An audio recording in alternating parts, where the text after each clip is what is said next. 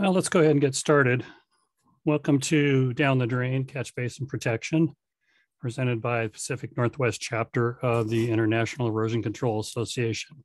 Excuse me. I'm David Jenkins, the uh, past erosion control stormwater engineer for the Port of Seattle, uh, currently retired, but uh, continue on as president of the Pacific Northwest chapter.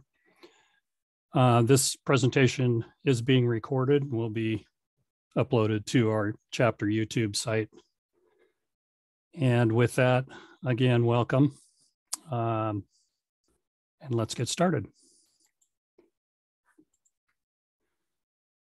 First, uh, some shameless self-promotion. So we do have several online uh, online sites for the chapter. Um, we have the chapter website at pnwcieca.org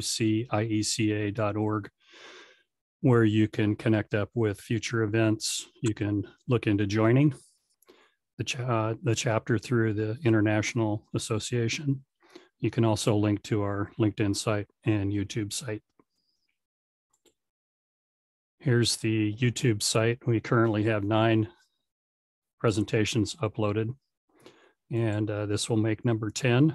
We're trying to do these presentations at least once a month, sometimes two, and uh, they're just on various topics of, of interest uh, to us erosion control nerds. If you have any ideas, anything that you would like to see presented, please just put it in the chat and we'll see what we can do. Also, if you have any questions, go ahead and put them in the chat. Um, and depending on how many people attend, if we have a pretty low turnout, I might just open it up and have everybody unmute and we can just uh, share back and forth. I don't know why I'm losing my voice here. And here's the LinkedIn site. I imagine most of you came in through here anyway. Okay, with that, uh, why protect catch basins? So first of all, catch basins drain uh, to, to somewhere you don't want dirty water going. So either directly to a stream, to a creek, some water of the state, Puget Sound, somewhere. So they, on a construction project, it's critical they be protected. What are you protecting from? Uh, in the state of Washington, construction stormwater discharges are regulated for turbidity rather than sediment or other such things. So I'm really going to focus on turbidity because that's kind of the biggest issue. Uh, but with turbidity, by preventing turbidity, you're also preventing sediment discharge. You probably have all seen some form of this little chart. It was put together by a friend of mine at WaterTectonics. Um, but I just wanted to point out that, first of all, a catch basin insert, which I'll talk quite a bit about, uh, which is one of the main devices used for protecting catch basins in construction. Uh, it is a sediment control device. And if you look on the right of this chart, you see that sediment control devices are great for um, removing sand or preventing sand from leaving a construction site. So that would include silt fence, um, sediment ponds, things like that it is possible to get down into the fine sands with them, but not too far down into them. And then with filtration, which many of the catch basin protection devices rely on some sort of some some sort of passive filtration, um, you can you can get some of the fine sand out and possibly down into the larger silt particles. But anything smaller than that, you're not going to get. And uh, that's the cause of turbidity, the clays, the colloidal particles, and the fine silts. Give you an example of that. And if you've seen any of my presentations, you've probably seen this before, but uh, this is a, uh, I think a pretty graphic representation. So this stockpile over here is bare on top because we continue to bring soil in. Um, and then everything drains eventually to this long, thin stormwater pond. So a couple samples were taken uh, as water is traveling from the stockpile to the stormwater pond. The sample on the left was taken uh, of runoff from the top of the pile, and the sample on the right is the water that's going into, uh, or excuse me, exiting the stormwater pond.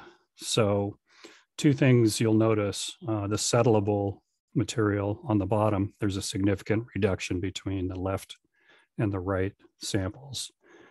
Um, that is the sand and know, coarse and probably fine sand, maybe a little silt. So significant reduction. The um, turbidity, however, in the water column here, there is not much difference. The turbidity on the left sample is probably in the upper 100 NTUs, which would be the measure. And then on the right is probably in the low to mid 100s. So the one on the right would get you close to complying with uh, Washington state discharge requirement, but you would still have to do some kind of additional BMPs to, to uh, satisfy the requirements.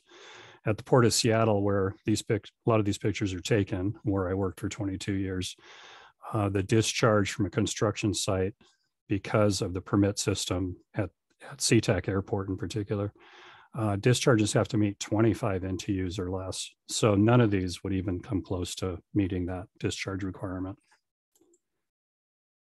So how do you protect catch basins? Well, if go way back, old school, uh, straw bale sitting on top of a catch basin, I suppose. Not, not that it's recommended, but I thought it was kind of amusing.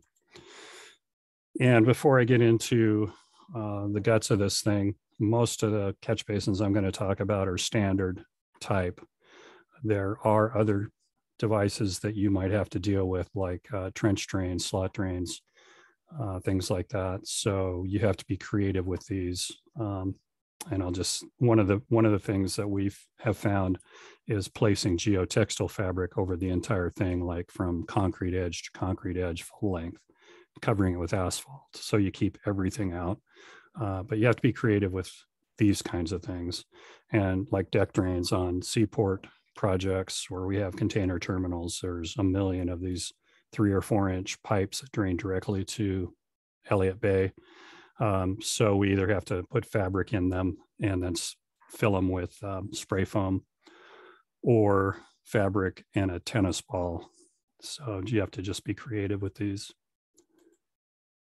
All right, so the several types of protection measures. There's the above grate. So here's a really old school detail showing gravel on wire mesh sitting on top of a catch basin, showing the filtered water. Um, and based on the diagram showing settling times for different size particles, this might get you very coarse sand removal, but not much else. Um, hopefully these aren't used anymore, but does represent a type. Here's one that is um, used quite a bit on highway projects, for example. So above grate using silt fence fabric, T-posts and things like that. Now, these can work um, if they're installed well and properly, but notice the overlap of the fabric. If that isn't done very well or extremely well, you're going to get leakage through there anyway. But if these are done correctly, potentially you can get water all the way up to the top and overflow. So you always have to think about flooding when you're using an above grate uh, protection device. Now, a question might come up about filtration or water passing through this fabric. Silt fence fabric uh, does not pass sediment laden water very quickly and will eventually plug up, so it becomes a barrier. So can't really re rely on filtration. And here's a manufactured device, same idea. Um, you lift the grate off, set this in place, and put the grate over the top. So water on this one, actually, this is a more coarse mesh material. So it does pass water a little more quickly than silt fence fabric, but it, it will also plug up. Uh, and then, then these are reusable, so they're kind of cool. But note the flooding. And then the below grate types of devices, which you're probably all familiar with. So this is one that um, is used mostly, I think. And you can see um, provides a pocket for sediment to settle out and then some overflow um, holes. It does show water flowing through, uh, but it's the same thing I just, just mentioned. Any type of geotextile fabric, unless it's a really open weave, which might catch gravel Um, if it's it's if it's a small mesh, a small, really tight mesh, it's not going to flow water very quickly or for very long. So you're really looking at pond uh, ponding and settling. So this is kind of amusing. This is putting one in. Well, I don't know why two people. Probably takes two or three people to get them out once they're fill, filled with sediment. Another type of below grate is the one that is that actually sets inside, so there is no flap. And there's advantages to this over the other one, which I think I have pictures of. So let's just take the grate off, set it in place, and then put the grate back on. And then there's berm. You can berm around grates to keep water from going in. But like any above grate measure, there is going to be flooding that you'll have to deal with. And I'm going to give examples of all of this as we go and what to do about these things. So first one was asphalt. Here's a straw wattle around a, a non-standard catch basin at SeaTac Airport, which also has probably plastic in there, some geotextile, because we can't really have anything go into them during construction. Uh, same idea. This is in the construction site, so absolutely nothing gets in the catch basin. And then the straw wattle keeps gross sediment from uh, getting on top of the catch basin, makes it harder to clean out. This one is a compost sock and it's used not to keep stuff from leaving the project to the top, but from keep uh, keeping clean water from going into the project. So another thing to keep in mind that uh, you know catch basins are great for for what they're designed for, clean water and very low sediment load. And then you can block grate. Now I'm going to spend quite a bit of time on this one because I find this one of the more useful ones. Um, a lot of jurisdictions don't allow this. Um, but if you, well, I'll go into it. I think they're, I think it's a great way to go. But again, it's going to cause flooding. So why would I want to completely block a catch basin grate? Because construction is messy. Uh, there's no getting around it. As clean as you keep a construction site, it's still going to be messy in many cases. So here's just a few examples of those. Oh, by the way, this is one of the downsides to the uh, catch basin sock that has the flaps. You can see the flaps will fold over and almost completely cover the catch basin grate. They can also be a trip hazard. Uh, stockpiles, dirty. Another reason to, here's the one of the main reasons to block a catch basin grate. Um, this happens to be 30 mil uh, PVC fabric, polyvinyl chloride, uh, which is what I would recommend if you're going to do this. It's a real heavy duty uh, plastic material. Um, so again, flooding, any of these types of methods are going to cause flooding, which you'll have to figure out how to deal with, and I'll show you how. Uh, one of the downsides to completely blocking a grate is somebody's going to get tired of walking through water and they're going to poke holes in it. So if you do this, you have to be clear with everybody on site that this is on purpose and you're not to punch holes in it. So um, this happens a lot. Okay, so um, this project is pretty much all asphalt, although it is being removed and replaced. But at this stage, um, it's mostly asphalt sweeping all the time, and you can still see turbid water going to the catch basin. This one is blocked temporarily, uh, but the next phase of construction is to actually remove, grind and remove asphalt.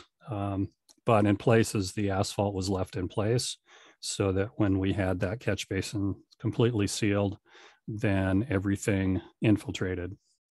So, uh, so that's one way to take care of water flooding if you do the uh, complete block of a catch basin grate is figure out some infiltration which here's another example is just removing asphalt filling with three to five inch rock so you can drive over it blocking the catch basin and letting uh, water slowly infiltrate. And here's a pretty graphic example. I think this was 24 hours, actually. I can't remember exactly. So those are some different methods. Um, and uh, well, let me open it up. We don't have too many folks. If you want to unmute, if you have any questions uh, before we move on to a lot of small detail things. Comments are good too. Okay, well, let's move on. Uh, this obviously is the result of a catch basin not being protected somehow. So another thing to consider, uh, especially if you have a lot of water to deal with, is to plug and pump. So not don't block the catch basin, but plug it, plug the pipe, the discharge pipe, and use it as a sump for pumping. So in this case, until the grass is established, uh, we have plugged this manhole and we're pumping up to tanks, then using the water for probably uh, dust control. Now, a couple things about, three things about plugs. Uh, this is the standard popular method for plugging pipes, and it's a uh, an air, um, well, I call them pigs. So it's an air pig. Um, you inflate it. They come in different sizes to accommodate different pipes but they they're problematic because they get scuffed up and they leak um, and people don't check them they stick them in there and then they walk so you, if you use an air plug you have to check it continually to make sure it's not leaking uh, and deflating and discharging because if you're plugging a storm uh, storm system to use a manhole for a sump to pump from um, the water is assumed to be dirty, so you don't want any leakage. Um, at the Port of Seattle, our uh, specified requirement is if you use an air plug, you can only use it for 24 hours because we had so many problems with this thing, these things failing and uh, water discharging. So, um, so we really limit the use of these. The next option that we have is a mechanical plug, and uh, we allow them to be used for two to five days. These work great, but they're really meant for for temporary. At least I think they're meant for temporary. Um, they do they can fail if they're not installed properly, or if you got a don't have a good uh, consistent pipe surface to attach to. Fact, we had a it's at least a 24 inch mechanical plug possibly 36 inch um, on the outlet of a big stormwater pond we were using for collecting dirty turbid water uh, to, to be treated chemically. And the mechanical plug failed, and we drained over a million gallons of extremely muddy water out into a wetland. And nobody was real happy about that. So, so again, we've had failures, so we limit the use of these.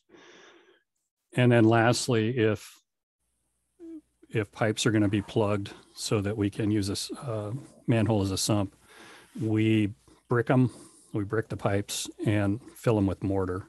Um, our standard is the mortar has to be um, one and a half times the diameter of the pipe, the thickness of it or the length of it, one and a half times the diameter of the pipe.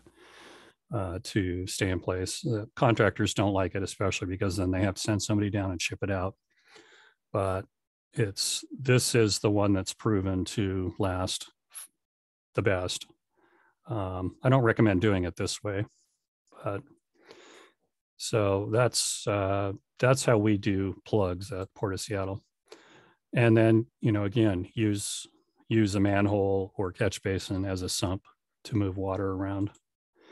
In order to do this effectively, you really need to know how the storm system works um, you need to know if you're on an end catch basin or if you're in a through catch basin. So at the top here, the top of this picture, you can see on the top left or top center is an end catch basin, which you would just have to plug the outlet to, to use, uh, use this as a sump. The next one in line to the right is a through catch basin. Um, so you have to think about if you plug the outlet of that catch basin, you're taking clean, maybe not clean, you're taking water from the end one and water going into this one. Um, so you have to take that into consideration for pump sizing, things like that. All the way to you see the discharge to the right. If you plug that, then you're taking all the water and you have to have large enough pump and discharge location. So in this case, uh, most of the, the, the blue system, most of it is going to be clean because it's roof drainage mostly. Uh, but when this building is demolished, then potentially it's all dirty. So all of these connections to the system from the roof drains have to be plugged. So you need to really be aware of what the system uh, looks like and how it functions. Another example of that, the systems can be complicated, overlaps, additions done over the years. Um, if it's an old system, it may not be correctly identified on uh, a GIS layer. So you might have to do some field recon to verify.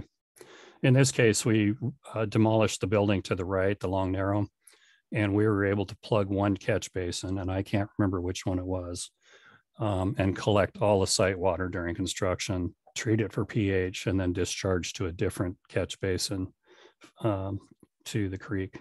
So, so it can be a very effective way to manage construction stormwater. And actually, in that case, we, aside from plugging one catch basin outlet, not the not the grate, but the actual pipe outlet, uh, we didn't protect any of the other catch basins. I don't think we even used socks in them. Uh, we might have, but yeah, I don't think we did. So here's an example, big project out at SeaTac a number of years ago where we were collecting as much water from the project, several hundred acres, and, and running it to a treatment system. Um, and this is an area where we had to, um, if we had let the water go and not pump it, it would have gone to a different drainage system and, uh, and would not have made it to the treatment. So we had to mud up the outlet pipe on this manhole where the pump is set up and then pump over to this other manhole, which did go to the treatment system. So same same idea. Um, really investigating the storm system is a, a good idea. Um, other things to do is to you can set a catch basin box and you know without pipes attached yet, and use it as a sump to collect water, and then it if you have a place to discharge to, even better. So in this case, it's perforated pipe over grass. But you can do the same thing, even if you're not using a sump. Um, if you block the catch basin grate completely and you're ponding, then you could set up a trash pump or something and do the, the same thing here. Okay, so we still don't have a lot of folks here. If anybody has any questions, you can unmute. Um, if I've allowed that, I think I have um, and ask any questions, or again, just leave some something in the chat and I'll pick it up. We can answer as we go or wait till the end. Also, if you have any ideas for presentations you'd like to see, please put in the chat or any comments. What is it, questions, comments, or concerns? Uh, and for the, those of you that didn't come in first thing, uh, please investigate our chapter website at pnwcieca.org so you can stay up on future events. You can also connect to our YouTube channel as we record all of these presentations and put them on our channel. Hey, okay. Dave, yes, sir. You, this is Troy. Uh, usually, when using those bag plugs, I've found that uh, just a comment here. I found that uh, having the contractor string their um, regulators there, you know, so that they can check their air levels, uh, make sure that those are sticking outside of the the grate or whatever, so that they, they can be monitored not only by the company but by us, because we've we've had some problems with that in the past, where they, you know, you can't be climbing down in the hole to do that regulation or to to to check on those. So uh, it's also a good idea to have them string those from the plug up to the outside where both, uh, well, in my case, the port can take a look at it and make sure it's in compliance and still air it up. And it's easy for the contractor to do so as well. So. Cool. Thanks, Troy. And um, I'd like to introduce Troy Modi. He took over my position when I retired from the port. So he gets to do all the fun stuff. Um, and actually, thanks for saying that, Troy. You reminded me. If with any kind of plug, if you're if you're plugging uh, with any kind of plug um, in this in the storm system, how do you know if it's leaking or not? Then because you're investigating how the storm system works, you know the next manhole down the line, and, and you would take your sample there either visually or uh, do a you know dip it and and test it for turbidity to make sure that the plug's not leaking and whether it's a mechanical mechanical or air or even concrete they um, can leak occasionally. So inspecting um, i i want to just point out um, this sediment going here and this is just my opinion.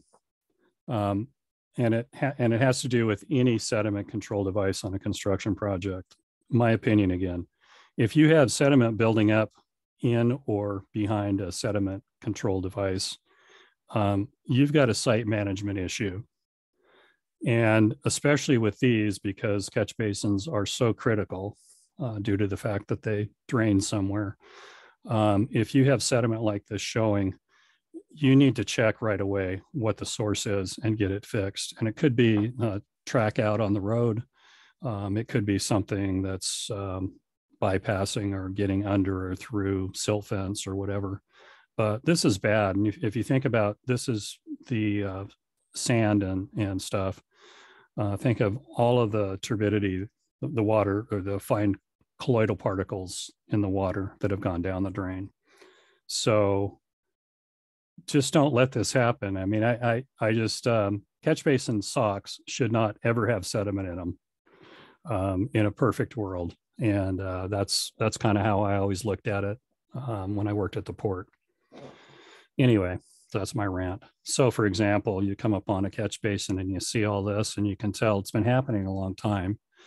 Um, so, what's causing this? Oh, stockpiles uncovered. Hmm, so what you know, what's the what's the issue that we need a sock in here? No, the issue is we need to prevent stuff from getting there in the first place. Okay, I think that's the end of my rant. Um, catch basins need to pre be protected for the entire duration of a project. So let's say your building work is done, you know, all your heavy civil work is done and everything is beautiful. And then the landscapers come in and they do their work and they turn on their uh, irrigation system for the first time. And oops, something's not connected properly or something breaks loose. And you can see what happened. A lot of turbid water went down the drain here. So just keep that in mind that you're not done when the civil work is done. Um, you're done when the site is complete and turned over. Always question to, uh, on a project whether a system is live or not. Is this just being set and not connected? Is it connected on, to a live system on the other side? Um, and this happens pretty frequently. Something will be added and it is connected. And this becomes just a major source of dirty water going into going down the drain. Um, this steel plate here you may have seen these before. So what is what is that covering? It's covering a catch basin. And uh, is it protecting it? Well, it's protecting it from gravel, but it's not uh, protecting it from turbid water or even sand or silt. So just be aware of things like this when you're inspecting. Um, that something like this needs to be completely blocked, or the again the discharge pipe needs to be plugged, and um, set up a pump in it. How about this one? It's got a catch basin sock, which uh, worked really well while we were doing the asphalt grinding. Um, we picked up, we collected all the asphalt chips that fell into the catch basin. They're in the sock, but you can see that the grate itself is not attached to the ring or it's not sealed to the ring. So when the water gets another quarter inch higher, looks like actually in the right corner it already is, water's draining in and bypassing the catch basin insert. So be aware of this, um, this kind of thing. As soon as you grind asphalt down around a catch basin or, um, you know, working around one like this, you're potentially opening up discharge to a live system. For example, like this one, uh, and this illustrates a couple things. Um, once once a uh, grate is exposed, if it gets bumped, it's going to crack the concrete and you're going to be open. So this is a live system. Uh, so look for these things when you're inspecting and uh, cover them up, get them sealed up, get asphalt down, whatever. So in, in fact, sometimes contractors purposely do this to keep the grate drained when it rains, um, which is good for them, but it's not necessarily good for the environment. So here we have best of both, both worlds, I suppose. Um, I think it's a new, in, yeah, it's a new installation. There's a sock in here, not for water draining into it necessarily, but uh, it's keeping gravel and grit and other stuff out of the system. And, but it is mudded up and and really tight and secure. So if water does build up in the grate, um, until it gets to the sock, even if the water's dirty, it's it's contained. So uh, one other thing to keep in mind actually is you should make sure uh, in your contracts or as an inspector regulator that have the contractor jet or clean out the entire storm system on the project when they're done. Um, even with socks and doing the best, you're probably going to get sediment and slime and stuff in the system. And when you get your first flush of rain, it's going to wash it all out, which wouldn't be good. Uh, here's another way to protect catch basins is just don't let site water get into them. So this catch basin here, lower right center, um, does have a sock in it, so which is you know good. Um, but with a series of asphalt berms, street runoff is directed clean to the catch basin. Site runoff is directed to a sump pump on the right and pump back into the project. Um, always keep your eye open for catch basins on a project. So this is outside of a big housing development. And here's this sad little catch basin sitting there uh, with no protection. And can't see it in the picture, but this drains to a swale, vegetated swale to the right, uh, which belongs to somebody else, actually belongs to a post office. So, excuse me. So uh, not a good situation. So what do you do about it? This one probably has to be blocked and pumped, which actually they eventually did. Uh, I drive by this occasionally. So why did I put this in there? I think this was to re reiterate, if there's sediment getting down to the catch basin, you have a site problem that needs to be identified and fixed.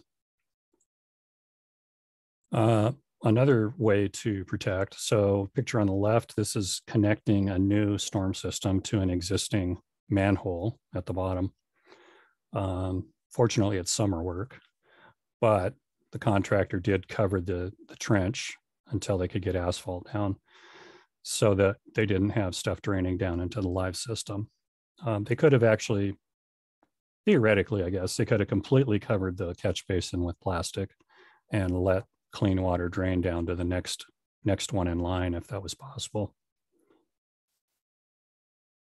And I think this is the last one. Just always remember when you install something, uh, any type of storm device on a on any system, but especially on a live system, get it mudded up immediately. So every nook and cranny and crack and pick hole and uh, connection between rings and bricks and everything else. Get the mud down uh, as quick as you can so that they don't become sources of dirty water going into the system.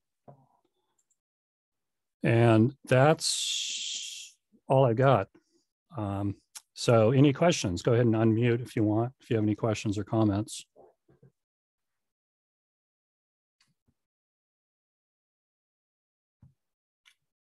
I will take that as a no. Um, oh, wait a minute. Got something in the chat here. Thank you. You're welcome, Troy. Um, if you have, if you do think of something after, let me go back to the last slide here, if I can do it. Yeah, there we go. Um, you can email me at pnwcieca. Oh, that's incorrect. It's pnwieca info at gmail.com. So Pacific Northwest IECA info at gmail.com. Uh, with that, I want to thank you all for attending and s- sticking with it. And um, the next official lunch and learn is scheduled for, I think, January 26th, the subject to be determined.